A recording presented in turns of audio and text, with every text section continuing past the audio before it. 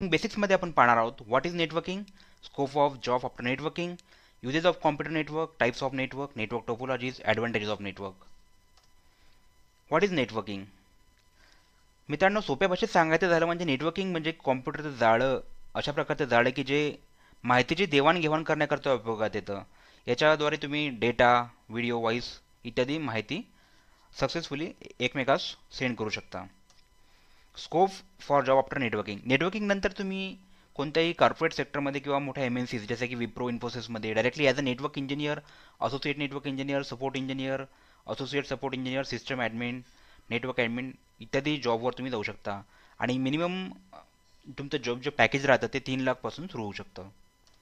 नंतर आहे uses of computer network computer नेटवर्कचे युजेस भरपूर आहेत. आपण थोडक्यात बघूयात की महत्त्वाचे कोणकोणते युजेस आपल्या नेटवर्कसाठी आहेत.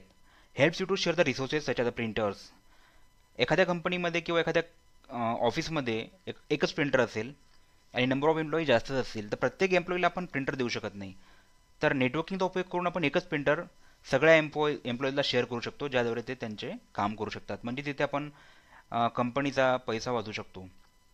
Allow you to share the expensive softwares and database among the network participants जर तुमच्याकडे काही सॉफ्टवेअर्स असतील किंवा डेटाबेसेस असतील तर एखादं सॉफ्टवेअर इन्स्टॉल करण्यासाठी तुमच्या कंपनीचं एखादं सब ब्रांच असेल तर तिथे तुम्ही एखाद्या एम्प्लॉईला पाठवू शकत नाही किंवा सॉफ्टवेअर इन्स्टॉल करू नये वगैरे वगैरे या कामासाठी. तर युझिंग नेटवर्किंग तुम्ही डायरेक्टली रिमोटली ॲक्सेस घेऊन तिथे सॉफ्टवेअर इन्स्टॉल करू शकता किंवा डेटाबेस शेअर करू शकता. Provide fast and effective communication from one computer to another computer एका कॉम्प्युटरद्वारे दुसऱ्या कॉम्प्युटर तुम्ही कनेक्ट करू शकता आणि फास्ट कम्युनिकेशन त्याद्वारे करू शकता. नंतर helps you to exchange the data and information among users via a network तसेच नेटवर्किंगद्वारे तुम्ही डेटा आणि इन्फॉर्मेशन शेअर करू शकता.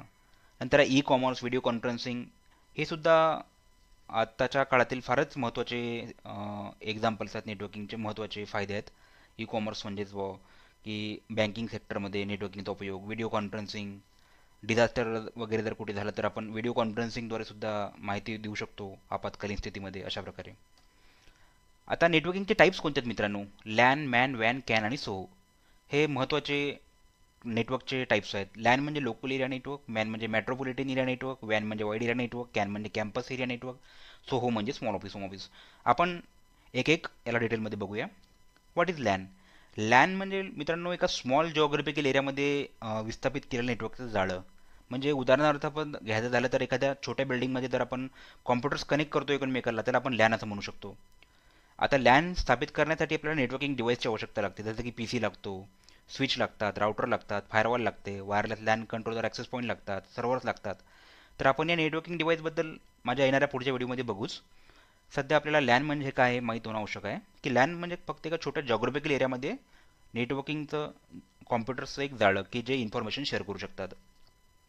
नंतर आहे मॅन मॅन म्हणजे मेट्रोपॉलिटन एरिया नेटवर्क नावातच आपल्याला समजतं की मेट्रोपॉलिटन एरिया म्हणजे की एखाद्या शहराला कनेक्ट करतं.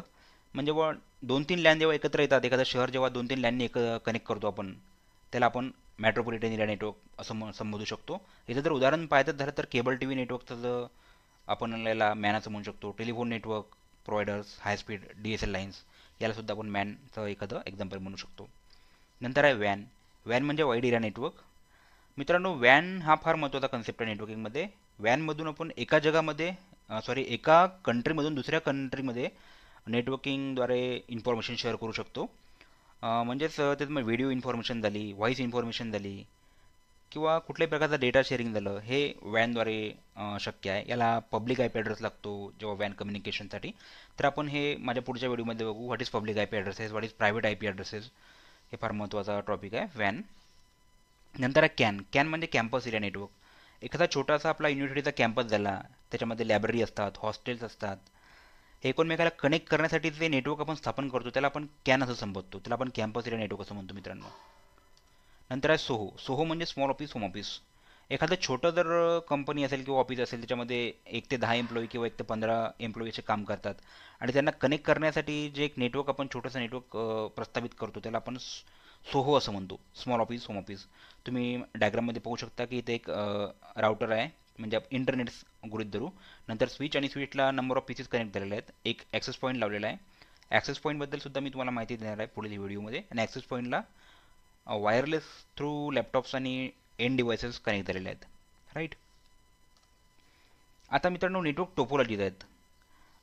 वेगवेगळ्या प्रकारच्या नेटवर्क टोपोलॉजीज आहेत. आणि टोपोलॉजी सोप्या भाषेमध्ये सांगायचं म्हणजे की एखाद्या आपण जे नेटवर्क तयार करतो त्याची रचना याला आपण टोपोलॉजी असं म्हणतो. तर वेगवेगळ्या प्रकारच्या टोपोलॉजी आहेत.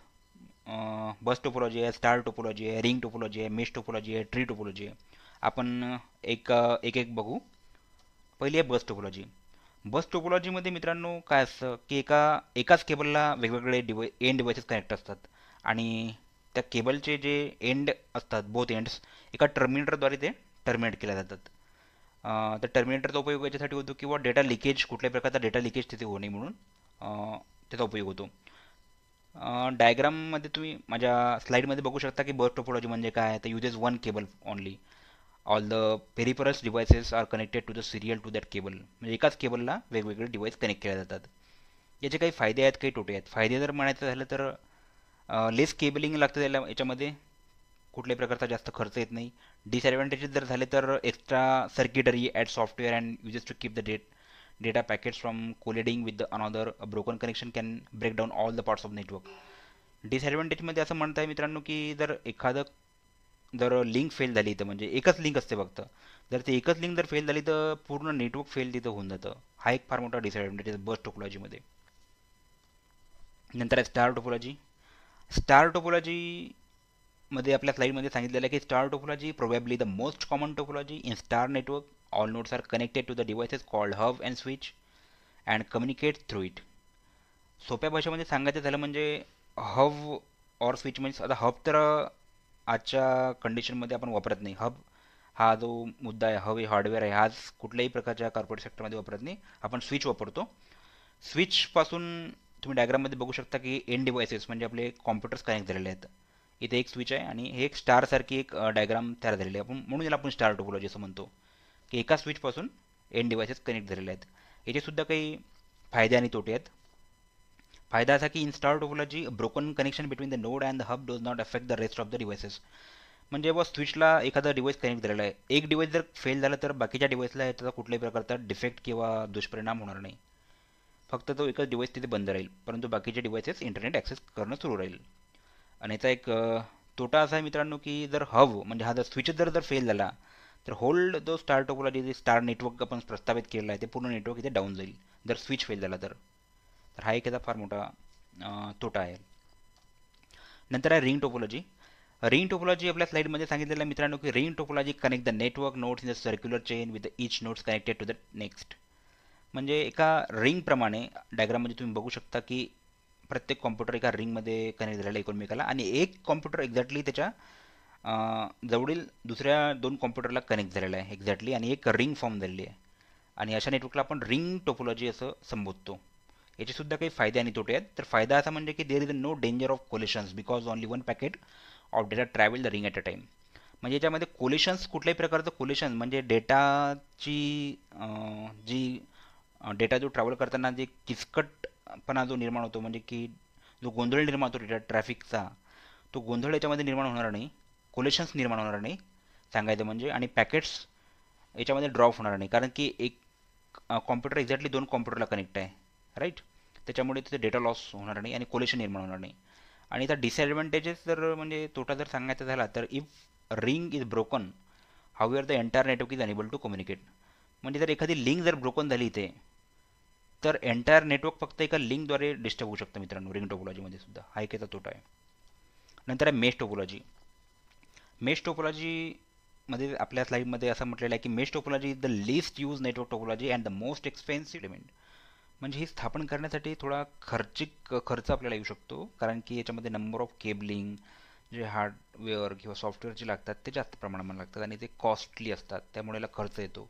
In mesh environment a cable runs from every computers to every other computer म्हणजे यामध्ये तुम्ही माझ्या डायग्राममध्ये बघू शकता की एकाच कॉम्प्युटर हा एक्झॅक्टली दोन लिंकनी कनेक्ट झालेला आहे दुसऱ्या कॉम्प्युटरला आणि एकोणमेकाला ते रिडुंडन्सी तिथे आहे. रिडुंडन्सी म्हणजे की एकाच गोष्टीसाठी दोन दोन केबल तिथे वापरलेले आहेत. त्यामुळे जर एक केबल किंवा एक लिंक जरी तिथे फेल झाली तरी पूर्ण नेटवर्कला याचा कुठल्याही प्रकारचा दुष्परिणाम यावर होणार नाही. असा मेश टोपोलॉजीचा फायदा आहे. आणि हे स्थापित करण्यासाठी एक उदाहरण आपण इथे घेतलेलं आहे की जर तुम्हाला चार कॉम्प्युटर कनेक्ट करायचे असेल तर तुम्हाला सहा केबल लागतील. आणि यामध्ये फॉर्म्युलासुद्धा आहे की N of N minus one divide by two N म्हणजेच व नंबर ऑफ कॉम्प्युटर म्हणजे नंबर ऑफ कॉम्प्युटर जर चार घेतले असेल चार गुणिला चार मायनस एक भागेला दोन म्हणजे चार मायनस एक म्हणजे तीन इथे चार चार तरीक बारा भागेला दोन म्हणजे सहा. तर आपल्याला सहा केबल इथे लागतील मेश टोपोलॉजीमध्ये तर थोडं खर्चिक आहे मित्रांनो. म्हणून याचे काही याचे सुद्धा मेश टोपोलॉजीचे सुद्धा काही फायदे आणि तोटे आहेत. तर फायदा असा की the big advantage to this arrangement is the data can never fail to be deliver if any one connection goes down there are other ways to route the data to its destination आपल्या स्लाईडमध्ये आता सांगितलेलं आहे मित्रांनो की जर एक link जरी फेल झाली तुमची तर कुठलीही चिंता करण्याची आवश्यकता नाही कारण तुमचं नेटवर्क डाऊन जाणार नाही तुमचं नेटवर्क सुरूच राहील आणि तुमचा डेटा हा दुसऱ्या लिंकने रूट होईल. म्हणजे तिथपर्यंत डेस्टिनेशनपर्यंत तुमच्या पोहोचेल तो. आणि याचा तोटा हा असा आहे की most expensive network as a large amount of cabling is required expensive hardware and software is needed to implement this network स्लाईडमध्ये असं म्हणतात मित्रांनो की फार खर्चिक नेटवर्क आहे कारण याला केबलची संख्या जे हार्डवेअर लागतं सॉफ्टवेअर लागतं ते जास्त प्रमाणात लागतं म्हणून थोडं खर्चिकसुद्धा आहे. नंतर आहे मित्रांनो ट्री टोपोलॉजी आपण याला हिरार्जिकल टोपोलॉजीसुद्धा म्हणतो. सोप्या भाषेमध्ये सांगायचं म्हणजे जी रचना जी राहते या नेटवर्कची एका ट्रीप्रमाणे एका झाडाप्रमाणे राहते.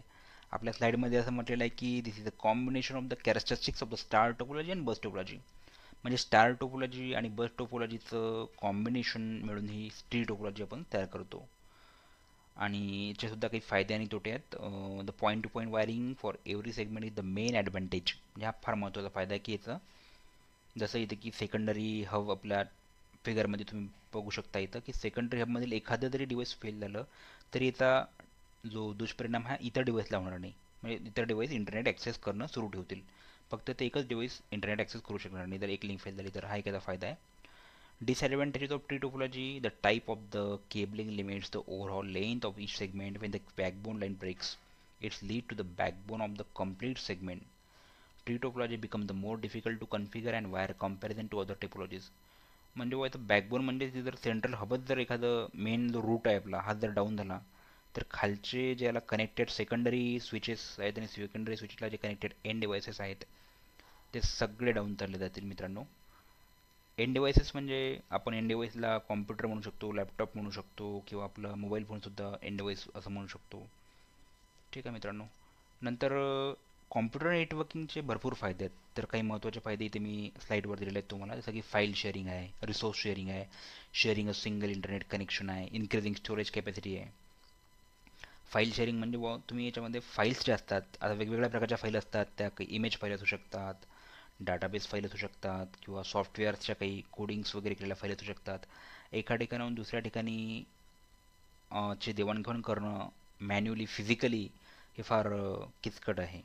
शक्य नाही. तर इंटरनेटद्वारे आपण ते डिरेक्टली एका कॉम्प्युटर एका कंपनीतून दुसऱ्या ब्रांचला डिरेक्टली शेअर करू शकतो. रिसोर्सेस शेअरिंग आता रिसोर्सेस म्हणजे काय? तर आपलं प्रिंटर झालं स्कॅनर झालं झेरॉक्स मशीन झाली. तर प्रत्येक एका एम्प्लॉईला आपण प्रत्येकली सेपरेटली एक प्रिंटर देऊ शकतो म्हणजे थोडं खर्चिक काम आहे. तर आपण इंटरनेट किंवा नेटवर्किंगचा वापर करून ते एकच प्रिंटर सगळ्या आपल्या एकाच कंपनीमध्ये सगळ्या एम्प्लॉईला शेअर करू शकतो.